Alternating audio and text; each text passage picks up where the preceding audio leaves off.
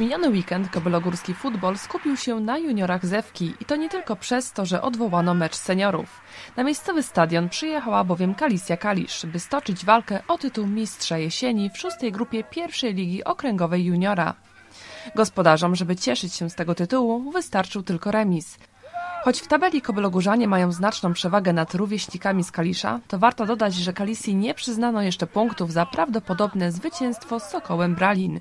Jak zdradził nam trener Radosław Tosz, drużyna z powiatu kępińskiego przyjechała na mecz w siedmiu i przy stanie 10 do 0 w 50 minucie sędzia przerwał mecz. W sobotnim starciu dwóch kandydatów do awansu na pierwszą bramkę trzeba było czekać aż do drugiej połowy, choć i w pierwszej nie brakowało emocji. Obie drużyny miały sytuację i na pochwałę z pewnością zasłużył bramkarz Mateusz Kupczyk, który kilka razy swoimi dobrymi interwencjami uchronił drużynę Zewki przed stratą gola. Do przerwy 0 do 0. Myślę, że w dzisiejszym meczu nie ma takiego zdecydowanego faworyta, ponieważ y, na, w dzisiejszym meczu y, drużyny grają naprawdę równo, głowa w głowę.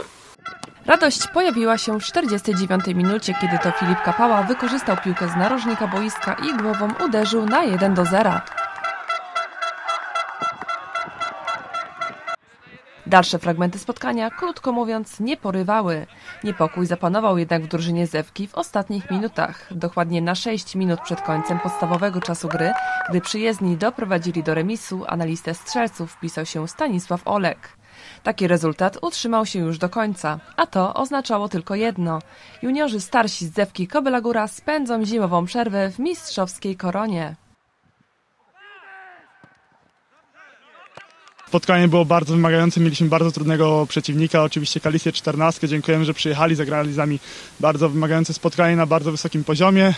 Była rywalizacja, były kartki, były faule i była po prostu dobra gra, dziękujemy im za to. W drużynie Zewki od tego sezonu doszło do bardzo istotnej zmiany.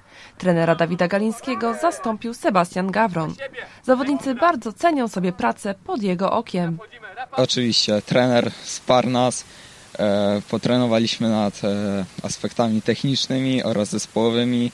Wspierał nas w trudnych chwilach, ale dzięki niemu zaszliśmy tak daleko. Mistrzowie jesieni na swoim koncie zgromadzili 20 punktów przy 8 rozegranych meczach. Z racji tej, że w lidze rywalizuje tylko 5 drużyn Zewka, Kalisja Kalisz, Pelikan Grabów, Orzeł Mroczeń i Soku Bralin, pojedynki odbywają się na zasadzie każdy z każdym plus rewanż. I na wiosnę będzie dokładnie tak samo.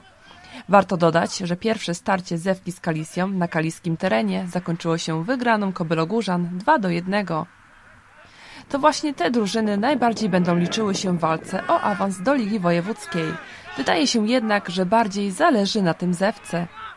Większość zawodników jest w roczniku, który już wychodzi, wychodzi z juniora, więc y, mimo tego, że będzie mieć pierwsze miejsce, to, to, to zespół już kończy grę w juniorze.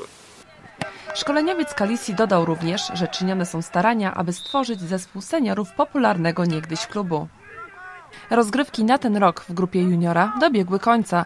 Teraz przed zawodnikami Zewki zasłużona przerwa, a potem powrót do ciężkiej pracy. Liga Wojewódzka to już wyższy poziom i ciekawsi rywale.